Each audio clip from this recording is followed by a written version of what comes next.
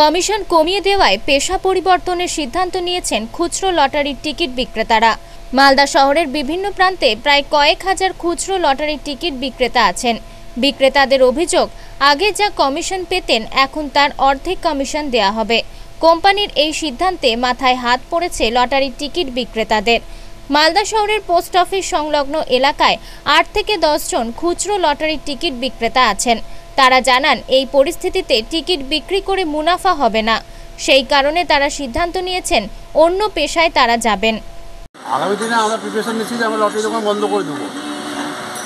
ঠিক আছে? কারণ কি এক নম্বর হচ্ছে যে আমাদের কাউন্টারে প্রচণ্ড আনসোল টিকিট থেকে যায়, ভাঙা টিকিট যেটা আমাদের day to day per day আমাদের লস হয়। আমরা বাড়িতে প্রতিদিন আমরা একশো টাকাও নিয়ে যেতে পারি না।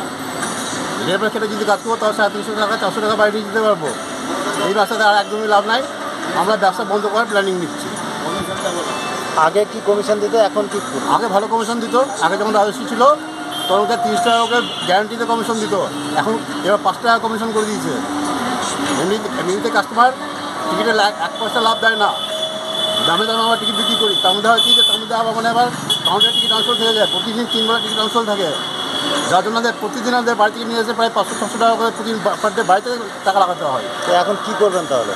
বন্ধ করে দেবো বন্ধ করে দিয়ে অন্য অন্য কোনো কাজ করব। মালদা থেকে দেবু সিংয়ের রিপোর্ট আনন্দ বার্তা।